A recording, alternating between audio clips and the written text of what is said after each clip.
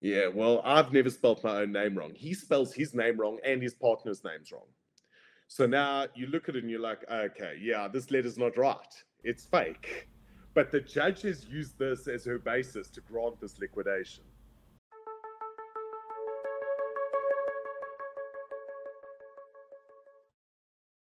Hello, everyone. You are listening to the Mutual Knowledge Podcast. I am Gauthier Lamote, your host, and my guest today is Sean Newman. He is a certified crypto investigator and he's an author. Hi, Sean. Hi, how are you doing? Good, good. I just woke up and I'm very happy to interview you today. Thanks for being here. So, first of all, what is a crypto investigator, Sean? Well, I suppose a cryptocurrency investigator can be defined as somebody who goes and follows the chain, so to speak, because we all know that the blockchain never lies. So the great thing about the blockchain is, unlike a bank statement, you have something to trace that just keeps going back and back and back. So, you know, in matters such as what we'll talk about today, where cryptocurrency flows, it mm-hmm. is often um, it's often necessary for somebody to be able to follow that flow. And well, along the along the journey of, of Mirror Trading International, I've been certified and, and managed to to get some certificates behind my name mm-hmm. so that mm-hmm. I could better understand the subject matter that I was dealing with. Mm, interesting. And so, how did you come in contact with the blockchain industry yourself? Well, I suppose it was through Mirror Trading International. I mean, a lot of over the years, my friends and I had spoken about Bitcoin. We'd followed things, but you know, you don't get too heavily into it because it's always that that thing on the side, and there's always that trigger that brings you in, whether or not it's it's an investigation such as this, or your need to to broaden your financial your financial options in this world. So, you know, I I had followed cryptocurrency, I'd followed Bitcoin, never really understood, and being a technology person myself, never really taken the time to understand a lot of it. And then in about 2021, a friend of mine approached me and he said to me, You owe me a favor. And I said to him, Well, what would that favor be? He said, Well, I lost three Bitcoin in this thing called Mirror Trading International. And I said to him, Yes. And he said, I'd like you to write a book because I'd written two previous books about the underworld in South Africa that had gone quite in depth with, with gangsters and murder and, you know, all these things. But, you, you, were know, living in South Africa yourself for how long at the time? Yeah, I've, I've lived here my whole life. Okay, okay. Um, so okay. despite spending a bit of time in the UK just prior to the pandemic. So he came to me and he asked me, funny enough, a UK national, and he said to me, "You owe me this favor." And I said to him, "Yeah, let's. Can we figure out something else? Like, do you want my second born child? Maybe my third born? You know, something other than a book because." I'd written two books, they were bestsellers, and you kind of like get over it and you move on in your life. And after seven, eight years of not writing, I just, you know, it was off the bucket list. Oh, you you and felt rusty? Said, no. Yeah, you know, it's just um, I think you just move on, move on. Mm, okay. And he basically said to me, "Well, this is a story like you've never seen before." And I kind of rolled my eyes at him and I said, "Fine." He said, "Have you heard of Mirror Trading International?" And I said, "I had. I'd watched an insert on a local investigative journalism program called Carte Blanche." But you know, I banked it and moved away, and it was interesting, but you know, not something that I would have normally followed in the media. So he said to me, Here's the deal I have with you. Give me 30 days. So I said, Okay. He said, 30 days, just go dig a bit, do what you do best. And if after 30 days you see no value in this, walk away. No harm, no foul, we square. I think he had a premonition that he knew what would happen. So I started off with with a Zoom call that that was recorded on YouTube. And basically, this Zoom call was the collapse of the scheme. Mm. So it was at the point where the the head of the scheme had disappeared. The rest of the partners and and and the so-called top investors and and you know the crux of the the crux of the organization were talking about it. It was never meant to be recorded. And there were a whole bunch of these personalities. So I started watching that. And then I made a call to to the journalist who, or the producer who had done this insert, uh, as I knew her. And she put me onto another journalist, and he brought me up to speed. So Jan Vermeulen of MyBroadband had actually broken the story. So at about the October of 2020, they had started putting extreme pressure on the scheme in terms of he had worked with the hackers that had hacked the database, and all the information started flowing out. It was at the same time that the Financial Services Conduct Authority in South Africa had, had clamped down on them, and there was just this big move. So Jan became an invaluable source of information, and and a, a real rock to bounce information off. And straight after that, I then started making calls to people who were involved. Mm-hmm. So you start off obviously with, with with your base user who's lost maybe 10 euro to your guy who's lost maybe half a million euro. Yeah. And you hear their stories, but you know, those stories become a dime a dozen. And I'm not trying to diminish the stories because there's some real heartbreak involved in this. But if you're going to look at something like this, you can't always look at just the victim story. You've got to now try and get into the actual story of what was going on inside. So I started contacting people, and eventually I got a breakthrough. And then the lawyers started talking to me from ah. all sides. And they started feeding me the paperwork that was coming out of court. And from there, I think we're now, geez, like, we're past the two and a half, we're past, uh, well, yeah, we, we, we're going on to year three now. And I think I'm so in depth in this. I've traveled the world chasing the story, but along the way, I met I met a, a very interesting advocate and very very senior companies expert because I had no idea about companies law. I knew about criminal law, obviously from my previous books. So I decided to get some mentors along the way. And he told me something that was incredibly interesting at the time. And I thought he was, you know, you crazy old man, what are you going on about? He said to me, You will realize in time you are not writing a book about Mirror Trading International. You are writing a book about liquidations in South Africa. And ah. I laughed at him. And, you know, I don't think he's far wrong because where we are today on this, and I'll take you back in some history in a second as, as to how the whole thing has unfolded. Please. I think where we are today is is I've learned that I would rather probably deal with the underworld of South Africa, and they're vicious, than with liquidation groups because there's more honor and ethics inside of inside of the underworld. As strange as that may sound, you know, at least they'll look you in the eyes and say, "I'm going to shoot you," and they will do it. They will follow through. Yeah, okay. I, I can totally like, get that. You know, it's it's it's this industry that's meant to be regulated and completely above board. But last weekend we had one of the top liquidators in South Africa.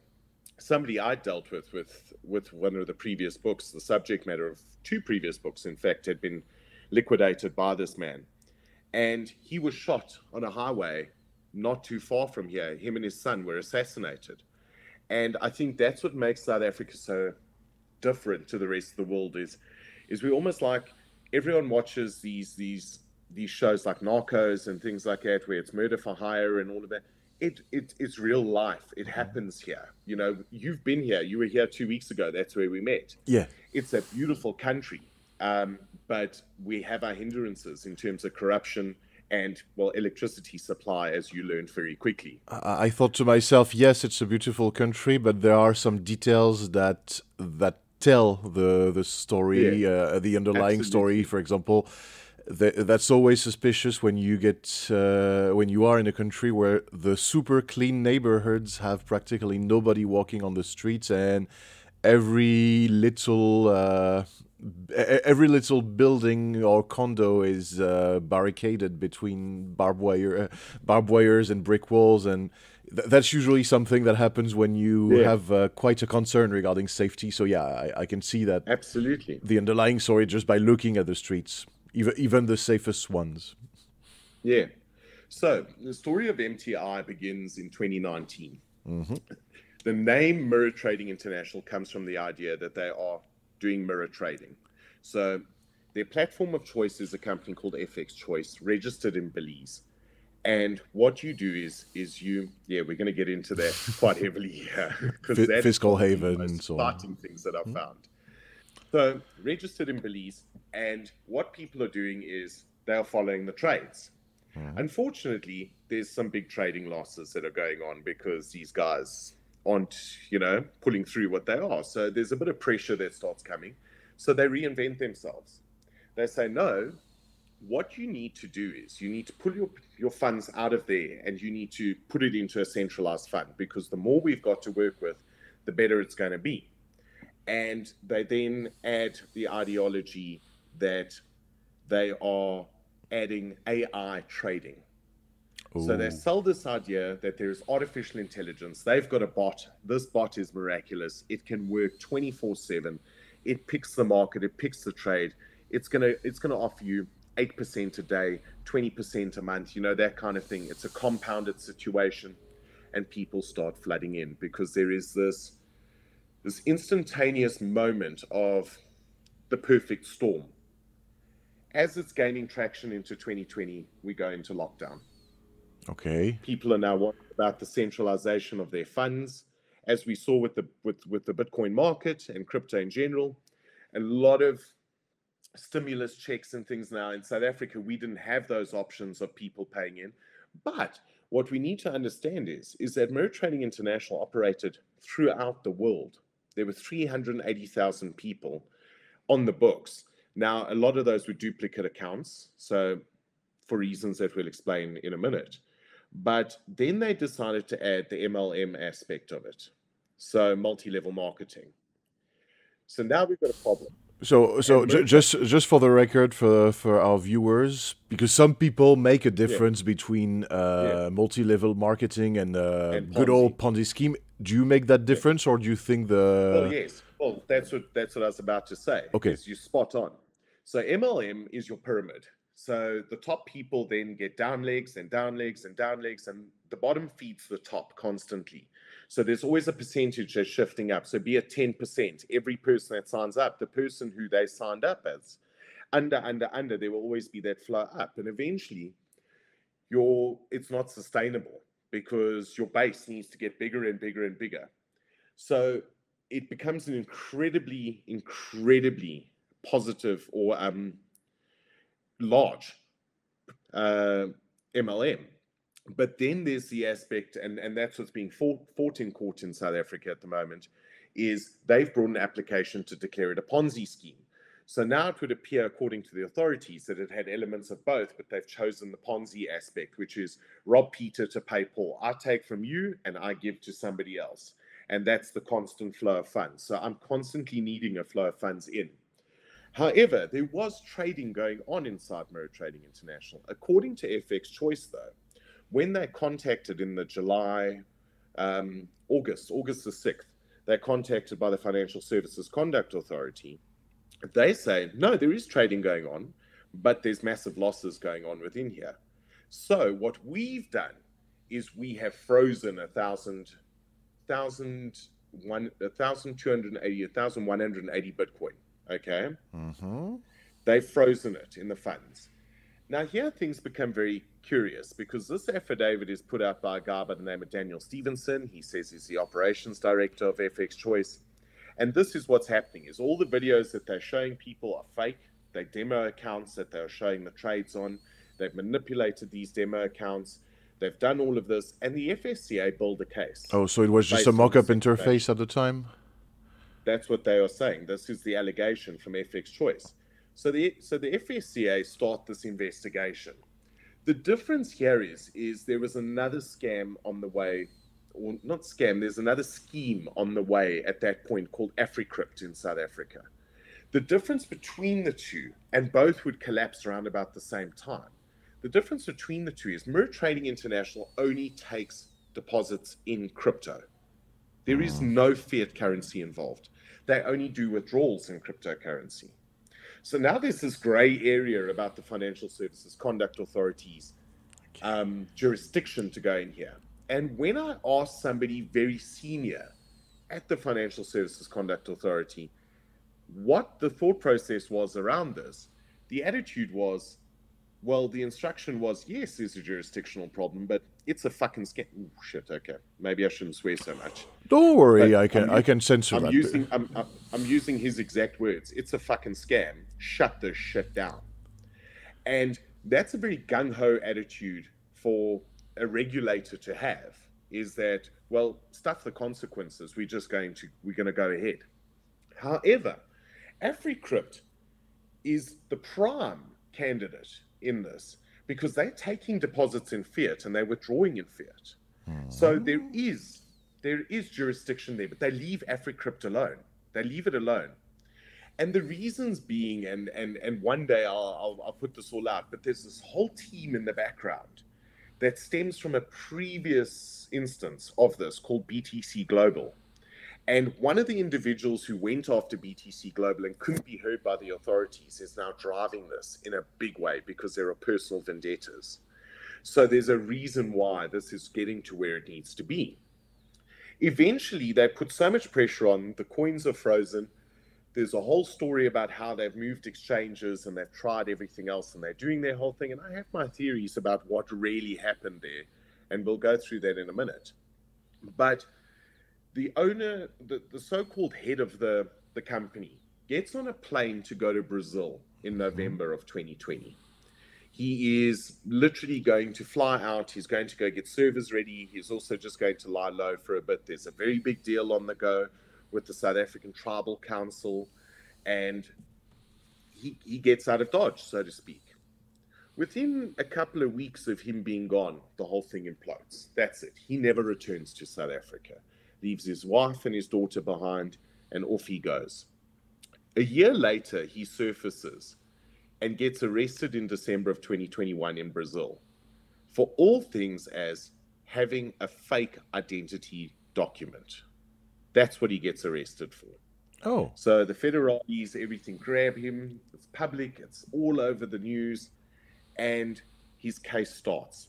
In his paperwork, he states he has started a family in Brazil and then we go back to that whole ideology of the Paul Le Roux saga, where Paul Le Roux, you know, this, the, the one of the, the Satoshi suspects in our in our existence, you know, used the same excuse on that side, and the federal government of America couldn't get to him until they lured him out. Now, these are stories that have been around since 2017, so you can only imagine that Johann Steynberg knew about this at the time. So now there's an allegation that the girlfriend is pregnant started a family, he's done what he has to do. And the case runs ahead till about June of last year. And since then, nothing. You can't find anything on the on the the government websites. There are no further updates about where this case has gone. It's just dead. In the meantime, the company gets liquidated in the December. So he leaves within a month, when it collapses on the 15th of December, there's this liquidation application. There are so many things wrong with the way that this application is brought, but there are so many blind eyes that get turned. So, for instance, paperwork that is pre- presented to the judge is got the wrong documentation, the wrong annexures, all of this. But it's December, and in South Africa, December, not really much happens. We're all on holiday. You know, getting anything done in this country over that period is a nightmare. But these guys go in and they go for it. Paperwork is wrong. But curiously, if you look at the court transcripts, they never argue the merits of the case. This starts inside the court between this advocate that is there to represent the losers and, and people who have real interest in this, but no names. Like 5,000 of them is the number that is thrown. And what ends up happening is the judge gets sidetracked. She gets this letter put before her that nobody knows how it appeared. It appeared on a telegram group the day of the hearing. And this letter is purportedly Steynberg going, okay, I scammed you. I'm gone. I'm never coming back. Please understand, I've taken your money, but don't worry, my partners are going to start another one soon, so they'll scam you a second time. Don't stress about it. And the judge takes this letter as being completely correct. The problem with the letter is, I don't know how drunk I've ever been in my life. I don't know how drunk you've ever been in your life, but have you ever spelt your own name wrong? Uh, oh, one, it must happen maybe once. Yeah, well, I've never spelled my own name wrong. He spells his name wrong and his partner's name's wrong. So now you look at it and you're like, okay, yeah, this letter's not right. It's fake. But the judge has used this as her basis to grant this liquidation. Now, the merits of the idea of should it have been liquidated or not is kind of inconsequential when there's fraud used to get this through the courts. Not only that, when you go through, there's an annexure called AMFL 11, and it's blurred, but it's like it looks like you know when you put something through a printer and the ink, the toner cartridge is suddenly gone, and there's that stripe through the middle, and you can't see anything. I managed to get my hands on the original copy of that. And it's the person who's bringing the application, it's not even their account that they're presenting as the evidence that this company can't pay them, the person. So I'm like, okay, there's some problems here. Then I started going through FX Choice. Now, when you're walking along a road of an investigation, you you kick pebbles out the way and you look for rocks. The pebbles are the easy ones to clear out. So I contacted FX Choice and I said, hey guys, you know, you've returned this 1,280 Bitcoin to, to the liquidators. Um, who knew about this? I mean, it was made clear on the 6th of August of 2020 that there was this money sitting there. So it was pretty low hanging fruit to begin with that there was this amount. The difference was on liquidation, it was worth, I think, 315 million Rand. I think the euro at the moment is about 12 or 15 to 1. You'll know better because you've done your conversion since you've been here. Bitcoin soars. It just takes off in that period that they're waiting for this coin to come back. And it's suddenly worth 1.2 billion Rand. It's worth a lot more. It just, it, it, it 4Xs in the period. And now it's really lucrative to have brought this liquidation. You know, you were mm. guaranteed money to begin with. Now you're really guaranteed serious money. So FX Choice, I start looking at, I send this email to them and I say to them, hey guys, you know, well done, you know, you did this and things like that. Could I perhaps talk to Mr. Stevenson? And the response comes back, yeah, this was a group effort. It wasn't just one person. So, no. So I'm like, okay.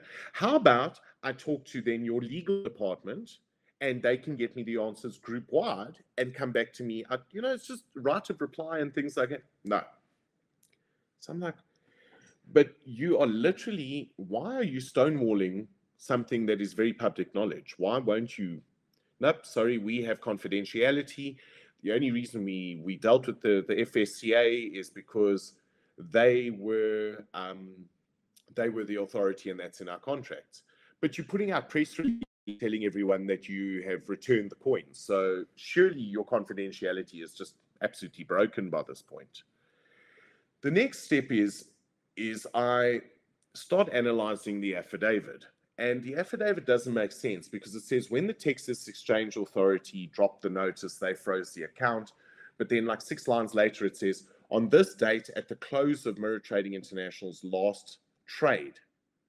And I'm like, but that's a month after you say you froze the coins. What were they still doing trading?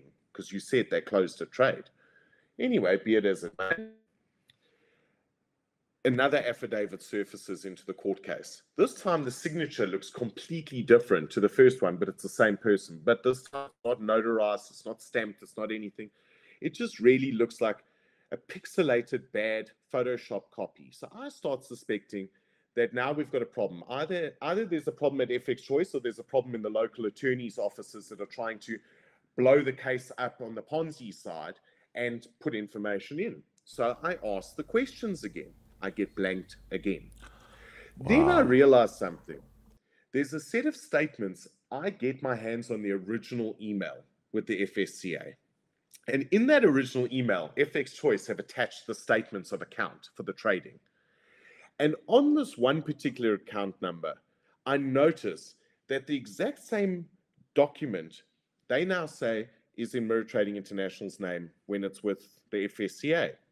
But the lawyers for the estate put in a set of statements that have the same account number, but now it's under Steynberg's name. And I'm like, hang on, hang on, hang on.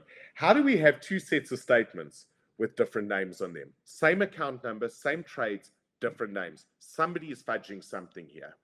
So I fire off a letter to FX Choice and I fire off a letter to, to the liquidators. No one responds to me for four five months, but now we're back in lockdown again. So I'd send out an email that says, I've tried to get hold of the notary in the UK. He's blanking me. You guys are blanking me. Everyone's blanking me. Mark my words.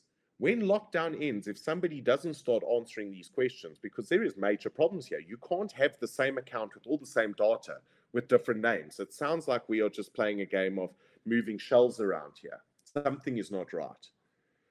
I will go to the UK and I'll go find this notary myself. Nobody responds. In the meantime, we have this massive thing called Pandora. The Pandora Papers get released. I don't know how I managed to, but through every contact I had, there were probably only five journalists in the country in South Africa that had access to Pandora. I got one to sit down with me. I was given two hours in the database and I searched FX Choice. And what popped up was a major problem. Oh. So I had seen the name prior CSS Trust Limited. And Choice. Can you just re- repeat uh, what you've seen? Uh, there was a network uh, issue. Okay. I'll cut that. So CSS Trust Limited is a company registered in Belize and it is a trust company. Pandora Papers, the ICIJ, literally named CSS Trust as one of the big power brokers in these these these situations who literally take money in obscure companies under trusts. So effectively what ends up happening is they named as a power broker, but they share the same offices as FX Choice, the same address. So I'm like, hang on. I get into Pandora, I search, a name pops up. This name is a Russian individual called Miroslav Antonov. Anisimov. And there's a chain of emails where basically they're moving from from a, another trust company to CSS Trust, and all the phone lines and everything need to be moved. There's financial documents that show that there was an investment into another exchange that was banned by by the by the American SEC and had to pay fines. There's there's just a flow of funds. So now I have a name. Now I have a problem because the law firm or the address that this affidavit was deposed to is stamped or is the address on the affidavit just happens to have a Russian law firm on the top form or top uh, top uh, floor of the building in London. So now I'm like, hang on, hang on. Things are starting to look a little bit like interesting here, especially in light of the Russian Ukraine war just about to start at that point in February last year. So I start looking deeper into it, and then his name pops up again in the Panama paper, uh, the Paradise Papers. This time under another company's name, FIBO Group. So now we got FX Choice and FIBO Group.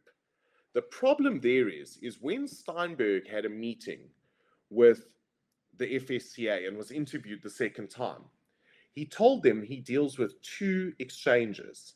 One, FX Choice. Two, the FIBO Group. I'm like, hang on. How do we? How is he able to mention the exact companies that are linked to this particular Russian? Then you go back. In order to facilitate himself leaving the country, he sends out a letter to his partners, but he says he received it anonymously. He, he wrote the letter. We can prove via IP address that says you your life is imminently in danger by the Masons and the Russians. Now, the Mason that is in discussion is the head of the FSCA's enforcement unit. We all knew that he's a Mason. That's fine. That, you know, that kind of conspiracy theory take aside.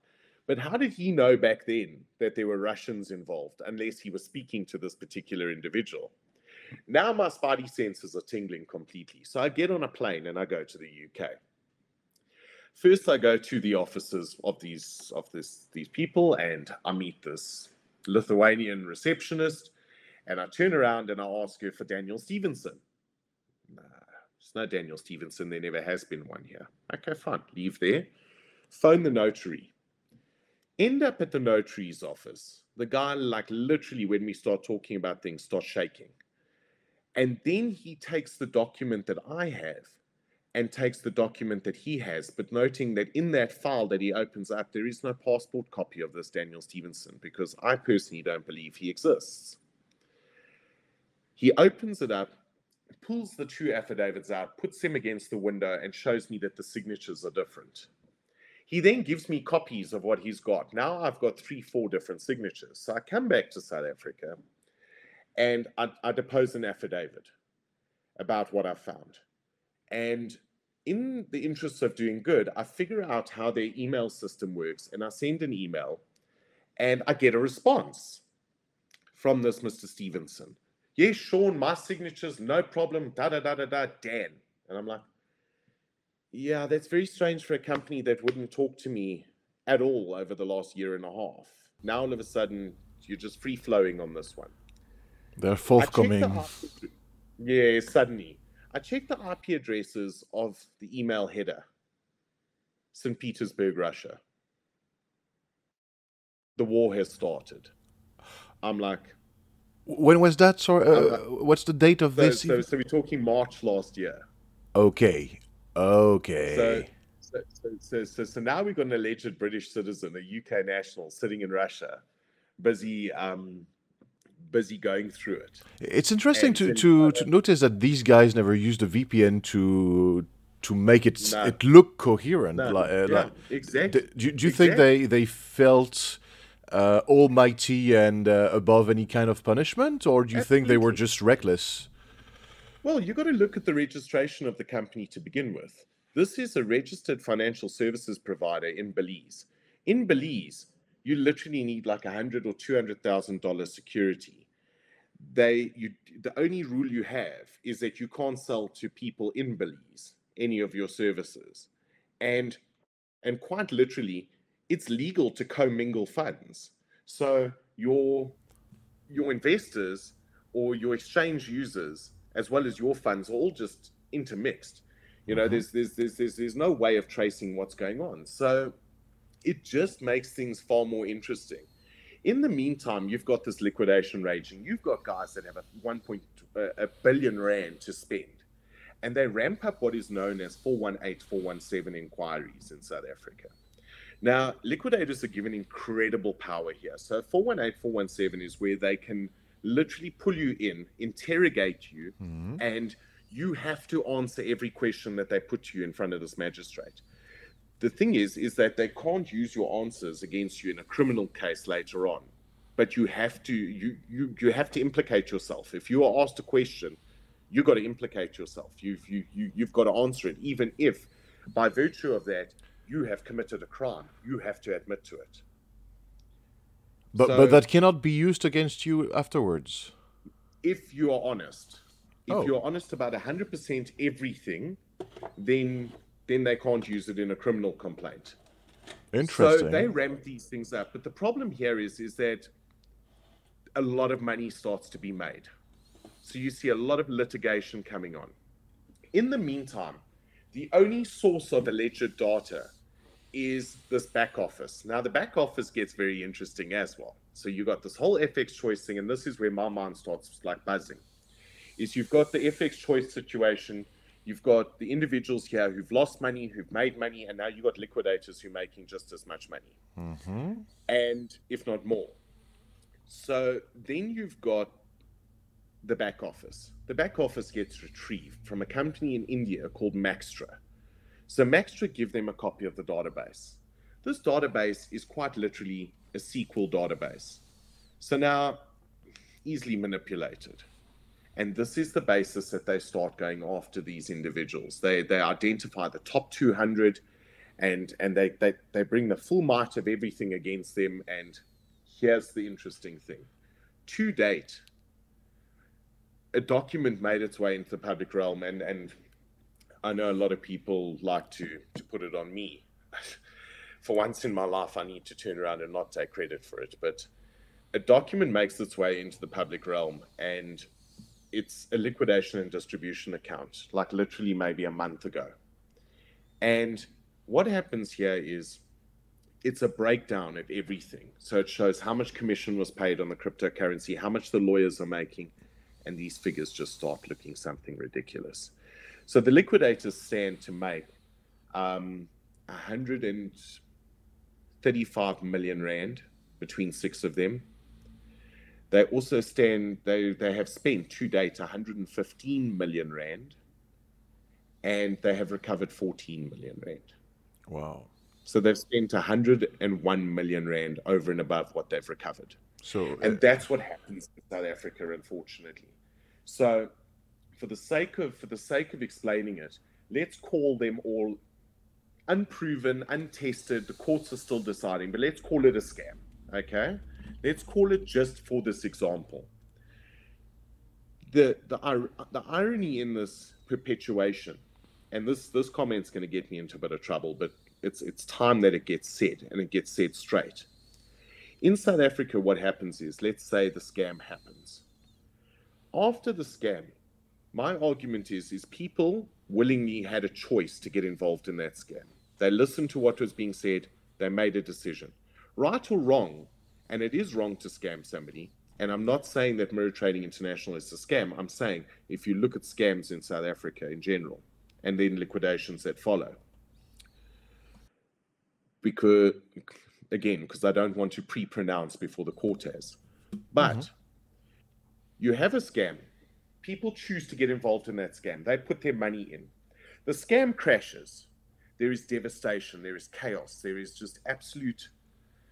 You know, people are wanting to kill themselves. Their life savings are gone. But then something miraculous happens. Hope appears. Hope appears in the ideology that you have a liquidation. Mm. There is money that they found. You are going to get something back. There is hope. The problem is in South Africa, liquidators have this great way of doing things. They stretch it out over 10, 15 years. It happened in something else called Krion, which was another pyramid scheme that collapsed in South Africa. They collected 100 million, they spent 90 million, gave 10 million back to, to investors, and then closed the whole thing off because the estate was running dry. The problem here is MTI has too much money in its estate. So now this hope disappears. People get scammed a second time. And sometimes I wonder if the, the advocate wasn't correct and the name of the book should be After the Scam, because the second scam starts. And what happens is, is you have these individuals that then legally all come in like vultures and start feeding off of it. So these 418, 417 inquiries are yielding what they suggest a lot of information. I personally know of people that have gone there that have been net losers. So why you need to interrogate somebody who lost money other than to make money is an absolute it's an absolute sham. However, I was approached by somebody in in in, in October last year, and they said to me they were having problems they were trying to settle, and if they could convince me, they believed they could convince the liquidators. Mm. Essentially, you're probably approaching the one person who they don't like because the FX choice thing really threw up a couple of roadblocks for them that they couldn't answer and still still can't. So, but regarding but that sc- question regarding that scam, so you said it was a hundred and fifteen million rands. So for yeah. our, our listeners in the US or in Europe, that that's about a bit more than six million dollars or six million euros. Um, yeah. How many people um, was it? Um, on how many people was it spread? Um, no, no, that no. Well, I mean, this is the thing. It's just groups of lawyers and liquidate. Uh, the liquidators haven't even taken their money yet. Hmm. So that is literally just on legal. Okay, it's but, but the, the people who lost everything. Yeah, nothing, nothing. They've gotten nothing back. Okay, nothing. and how many people were there who um, uh, who invested in the first place? Well, you know, this is where things become interesting, is because there's 380,000 members on the books, mm-hmm. but a lot of people were creating multiple accounts to to to collect the to collect the the percentages up okay. their own chain. So probably fairly so less than that. Out, reinvest, take out, reinvest, take out, reinvest, take out, reinvest. So probably 30, 40,000 people, if let's call it 80, just to for the sake okay. of brevity, you know. Um, okay. But you're talking anywhere they talk the amounts, anywhere from if if their numbers are to be believed, which I don't, and I'll tell you why now. Um, 18,000 to 40,000 Bitcoin. So it's um, it's a lot of Bitcoin. It's it's it's a lot. Understanding that only thousand two hundred eighty have been found. But here's the here's here's some of the problems that come in in that. In investigating various so so this client basically said to me, I will pay for you to be trained up. And in your training, come after that and I will give you all my data. And if you don't believe me after that, then then I'm stuffed. He did all of that and he stayed true to word and and he did. He gave me everything and I have a number and there's a number out there that is completely ridiculous um, that they're pushing. But I understand why that is. But in that, I started looking at multiple people's accounts. Now, here's the thing with the back office. I believe that prior to the liquidators getting it, so I'm not putting it on them, there's a benefit of a doubt here, is that prior to them getting it, somebody deleted critical data out of that database. The problem with that critical data is, is that it comes from the deposit side. So it was purposely meant to obscure deposits coming in to slow down the investigation of the flow of how much flowed in here. By the time they got it, I think a lot of that data was missing because after three, four different inquiry sections with different clients, I've noticed a wallet address. The wallet address has popped up as being a deposit address. Now, my client's daughter, the one daughter, the one is like three Bitcoin that he deposited in. Another client's is point uh, is is about another two Bitcoin. The problem is, is if you go to the blockchain on this wallet address, it's 0.04 of a Bitcoin has only ever traveled through this wallet in its entirety. So it makes it physically impossible for those to have been the receiving addresses. The, you get where I'm going with this. So somebody has changed the deposit address. However, where the problem comes in is that this is now known that the back office is unreliable, but the liquidators' teams have not alerted anyone that this anomaly exists. Now, if I can pick it up in three, four different clients' uh, sequences and looking at the data, they've looked at hundreds of thousands of these things. So, I've managed to find out that this particular wallet address in the back office is attributed to 44,000 transactions valued at 4,400 odd Bitcoin. It's impossible. It's received 0.04 of a Bitcoin in and out in its entirety. Ergo, they cannot present to a court of law that this back office data is anywhere near being reliable because if that's been changed, other things could have been changed. So what they're doing is they're using these inquiries to try and now suss out a percentage point of how reliable this back office is, but presenting to the court that it is indelibly correct. It is 100% correct. And their cryptocurrency guys have charged 16.9 million rand to date, which is what? It's close on a million euros. Just to have hidden this fact from everyone. Mm-hmm. And these, this is where my problem comes in with this, is it is not necessarily that the company should not be where it is right now. I have I, I liken it to if it was meant to be, it would have gotten there organically in the end.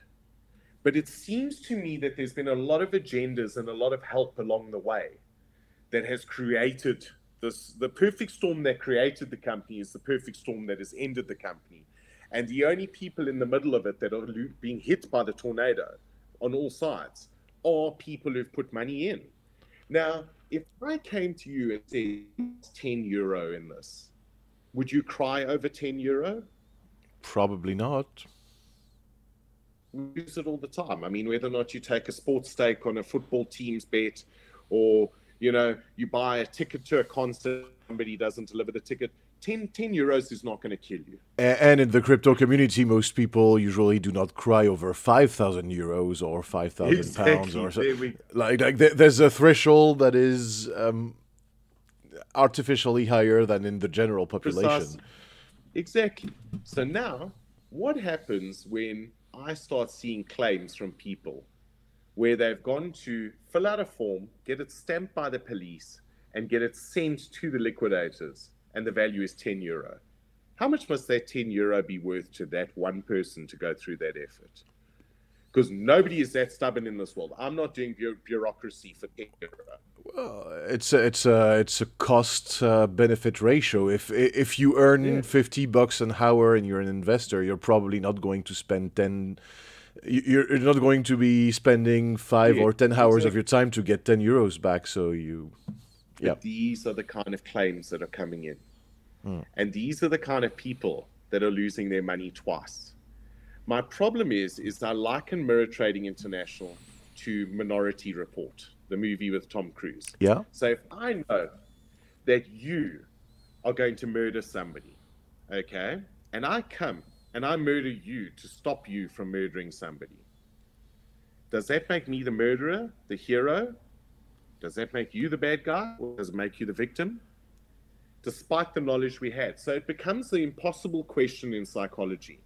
The impossible question in psychology, for anyone that doesn't know, is you're standing on a train track. The train is hurtling towards six people. If you intervene and flick the switch, and it only kills one person. Yeah, it's a trolley problem. Yeah, the trolley problem. There we go. Are you saving six people, or are uh, you now complicit in uh, having changed fate? Of course. Or can your conscience live with the idea that you left fate to continue and do what it had to do, and more people died? How do you deal with it? And that's where I liken Mirror Trading International. You have a grudge that leads to a whole bunch of real, for lack of a better term, bullshit mm-hmm. actions that are concerted at every point of breaking normal procedure in the name of doing the right thing. So it is sold to whoever does what they do as doing the right thing at any cost. But at what point in doing the right thing do you become just as bad as the people that you urge to be protecting others from? Or is it because you're a white knight that you can do whatever you want without fear of reprisal or consequence? So, from your initial setup to the application, to the application, I mean, shit, I've had senior people say to me, my God, it took the dumb son of a bitch six months longer than we thought to fuck off out the country. To me, that's like we had a plan. There was a plan. You know, the paperwork that wasn't correct before the court, the lauding of everything, going through everything, the now siphoning of funds. That money still belongs to people. But here's the twist. And I alerted somebody to this.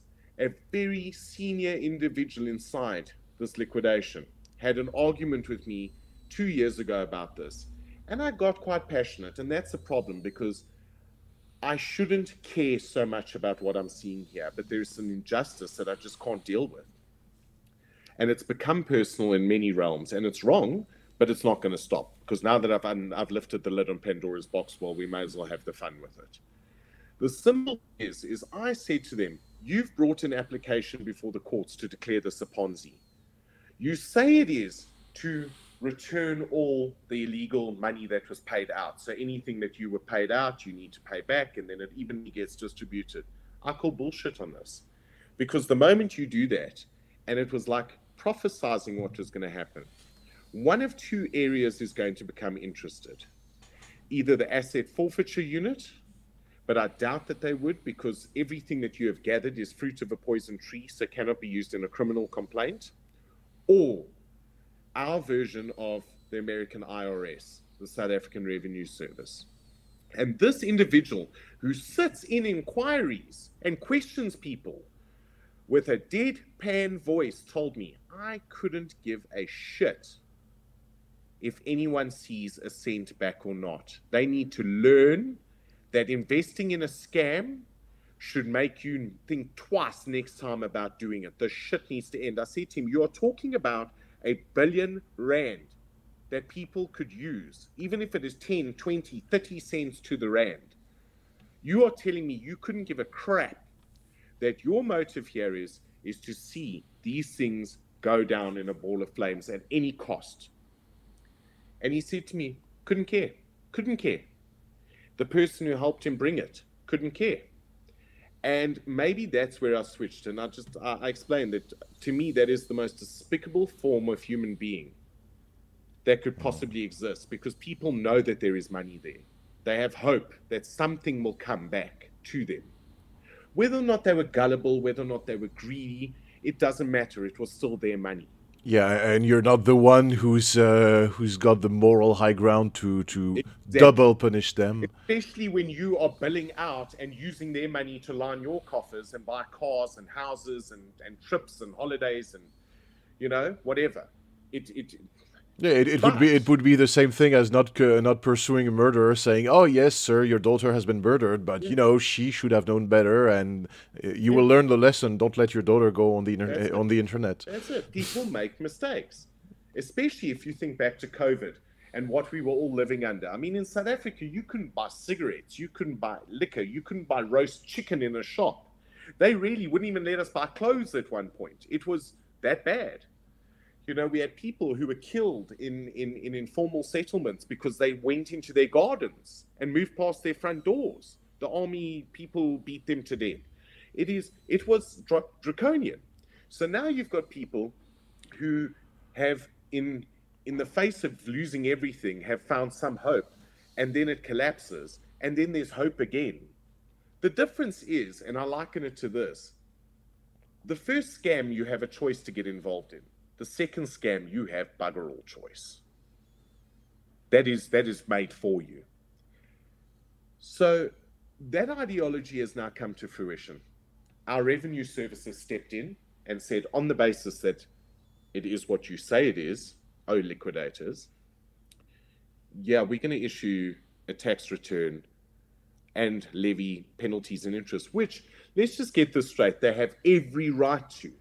And in South Africa, it is sometimes scary, but incredibly encouraging to see the efficiency with which that area of government works. They are beyond reproach at the best of times in the way that they conduct things, the way they stick to within the law, and the way they do things. They have now stepped in, and basically their claim is for everything that is left within the estate that the liquidators haven't spent. And it was called. That was all born out of the ideology that there was this need to get this this this order, which ironically today, as we sit, was rested last year June. The judge then called everyone back in November for one final day's worth of clarification. And since the 8th of November, we've had no judgment as to is this a Ponzi? Is it legal? Does it need to go to full trial? Does it need to go to oral evidence? Is it being dismissed? What is happening? We have none of these answers. And nothing has happened since. So it just seems like there's this whole scenario where everything happens all at once and then it just goes quiet. Happens all at once. In the meantime, there's cases that have been brought against the top 20 to the value of 4 billion rand um, that they are personally liable. It's, it's just, it's a free for all. I mean, between the experts and the the the lawyers it's just a feeding frenzy at the moment. And yet you still have that guy who expects his 10 euros back waiting for it.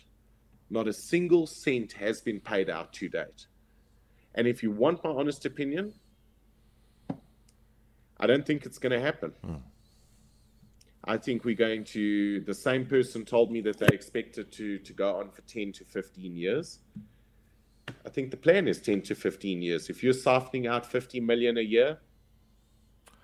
Yeah, and then again, psychologically, those who have lost 10 to 15,000 dollars or multiply that by uh, by 20 to have rents, the, those people will probably get over it in 10 years. They, they will yeah. lose hopes and uh, lose any kind well, of. Well, I mean, I mean, let's just let's just focus on that. We've got a couple of things here, exactly on that. The first is the shame.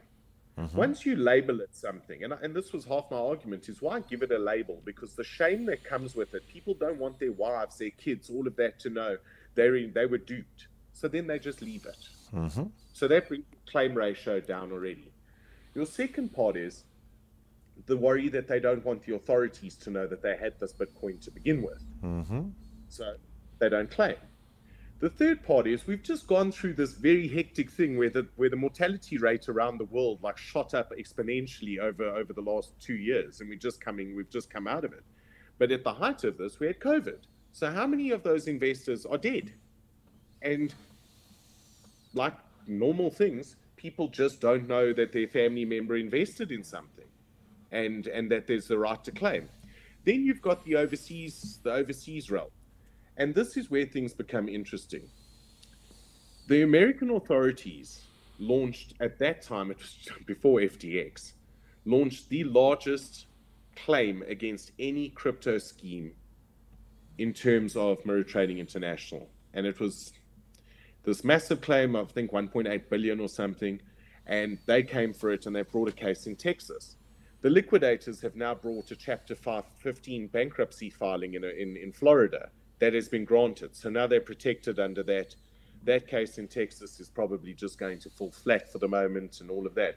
You've still got Steynberg in Brazil, but there's been no attempt to claim any money back from a single international person. Why? They'll tell you it's because the barrier to cost is too high. Well, according to South Africa, they're not afraid of cost. My theory is because the lawyer that's going to handle it isn't isn't part of the pot. Oh. so why why give it to somebody outside of the inner circle? Okay, that's the, that's the good old saying. I want to stop corruption, or I want to take part in it. But but but three years down the line, I am yet to hear of some of the big boys being being taken on who are out the country. Wow. In fact, I'm hearing of people who are far less liable. I mean, the one the, the one was for three Bitcoin, um, was the claim. I've heard of claims of 0.001 of a Bitcoin. So you're going that hell bent in South Africa. But guys who are known to have pulled out 20, 30, 40, 50, some some even 60 Bitcoin not being touched overseas. And it's not like nobody knows where they are. They know exactly where they are. So they're going to touch them in 10 years when things have settled down? Well, you see, here's another thing about South African law. If you don't claim a debt within three years, it's called prescription. You can't claim that debt. Three years. Okay. In, in France, for three example, years. it's it's uh, more than 10 years. Yeah. So three years in South Africa. It's called the law of prescription here. So wow. December the 28th of this year, bam, prescription happens. Mm. Anyone who's not seen anything claimed against them, and maybe this is me sitting here saying, well, TikTok, TikTok, hurry up. But how are you going to lodge that many claims? And then, oh, hang on, there's a lot of money at stake to be done. It's a very cynical thing. I started out believing everything. And as we sit here, I don't think that advocate was incorrect when he said, You're not writing a book about Mirror Trading International per se. You're writing about liquidations. The other thing he said, which is very, very interesting, and it's a cynical view from somebody who has seen the inside of court multiple times and is is is is is is, is a doyen of the industry in terms of companies law. He said to me, "You will learn very quickly that if you think, and I'm going to use his exact words, if you think you're fucked when a company is running, you have no idea how hard you're about to be fucked when it's in liquidation." And and and this is the this is the nature of it. It's it's it's sad because there is a chunk of money sitting there and they'll tell you well we can't just pay that out. And i understand you can't just pay it out but you're not investigating who's owed what. You're trying to investigate where you can get more money at any cost.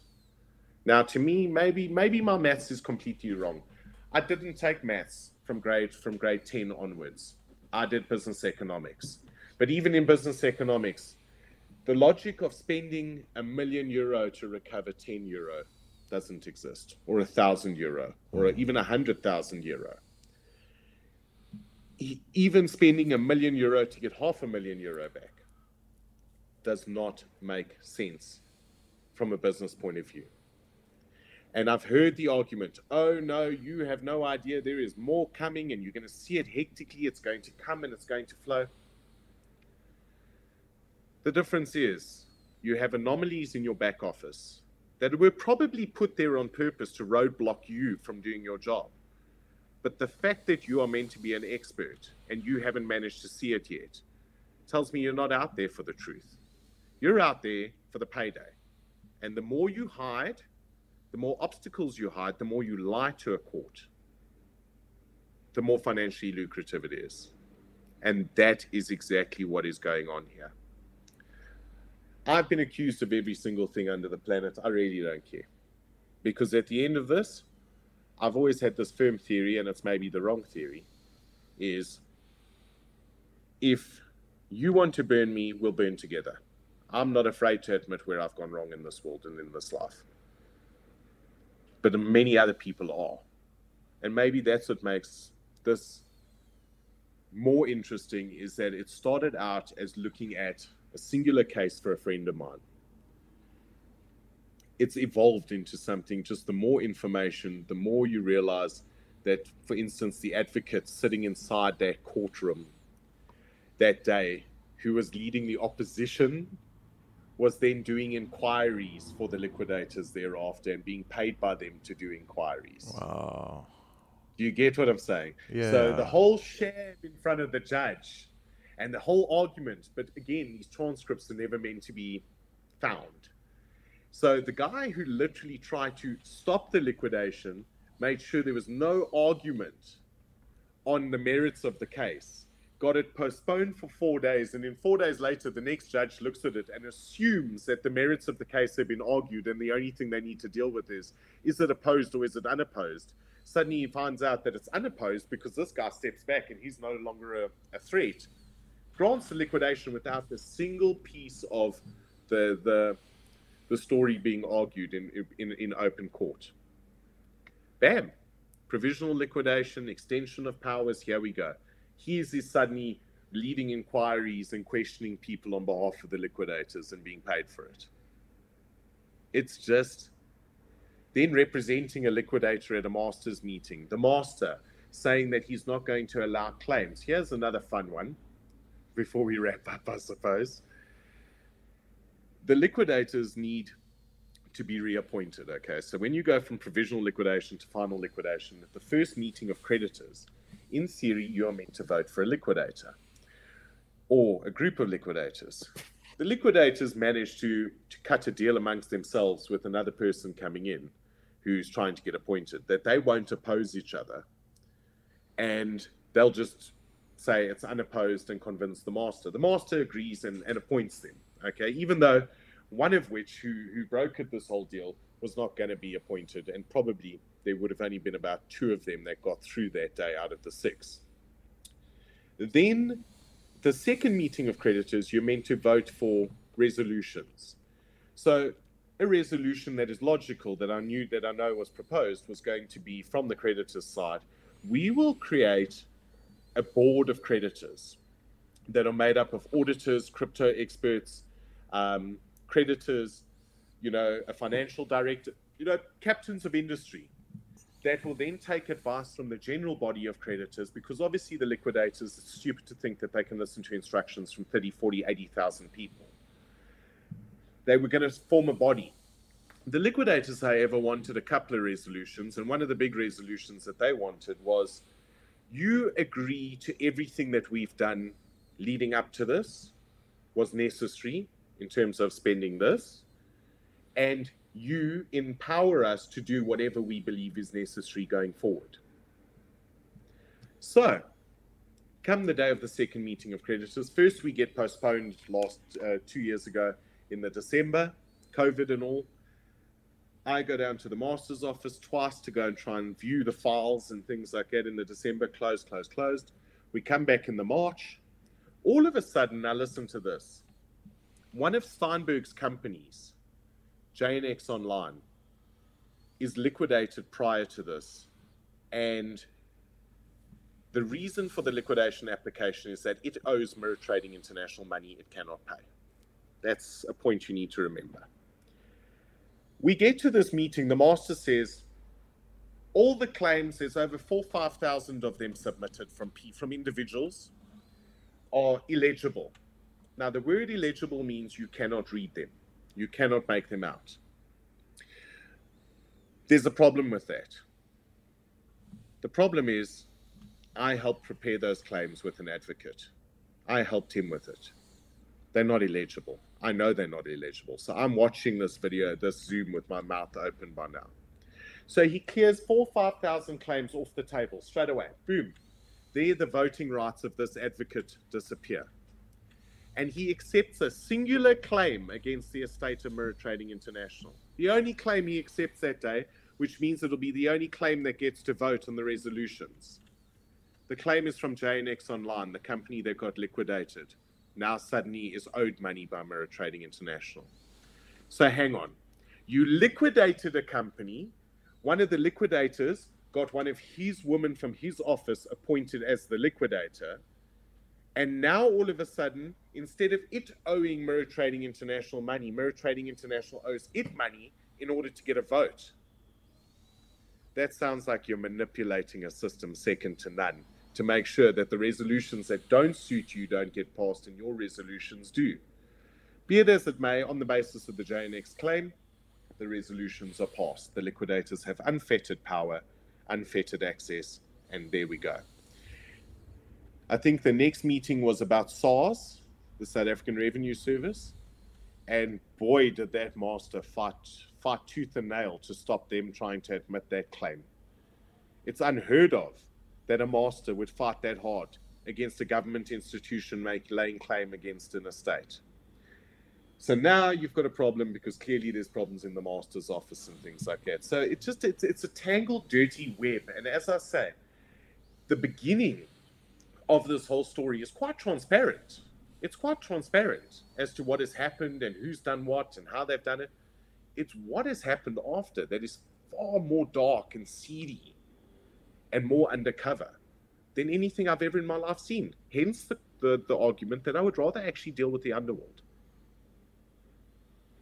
Thank you so much. This is absolutely enlightening, and I have the feeling we could even even make a part two of this interview if you if you're. Uh, it's a Netflix series waiting to happen. Yeah, th th this is very interesting, and it really inspired me a lot. Thank you so much because when I was working for the Free Republic of Liberland, we had a, a very teeny tiny, nothing in size compared to what you just described, but we had a, a scam of people uh, involving people selling fake tokens of the Free Republic of Liberland, damaging the, the reputation of the project. And I, I found it very hard to get investigation from people just, as you said, blanking you, not, not answering mm. to you. And uh, I thank you so much for this interview because I deeply admire the uh, the determination that that you've shown to to uncover all these uh, all these dirty secrets and the very cynical aspects of it. Uh, is there any, any last word you would like to add regarding that, or regarding the the crypto world in general, the blockchain industry?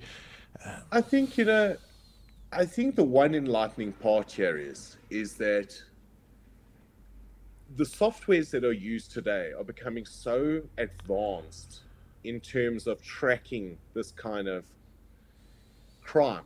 Mm-hmm that I think going forward, it's going to be a lot more difficult for these things. You know, I mean, people will always adapt. I mean, there's a reason why the word Ponzi gets thrown around from, from you know, the dates that it does to, to today, the Madoffs and things. But I think that despite all of this, the underlying technology of blockchain, the ideology behind it, is as sound as anything, and it's probably the biggest gift this world has ever been given. If we can just get people's heads around that this is not always everything starts off this way. It will it will normalize. The more people understand about it, the more people research it, the more accessible it becomes, the better it's going to be for for humanity going forward. So I have great belief in blockchain. Um, just sometimes not the the bad the bad actors that are behind it. But I do believe with things like FTX and all of that, it will start weeding itself out because the curators of the blockchain are the very people who talk today, who invest in it, and who are systemically trying to get its applications put in the right places. It's, it's, it's, it's got an unlimited amount of application. People need to understand that it's not just about Bitcoin, it's not just about Ethereum, it's not just about a tokenization of the system, it's not about a decentralization.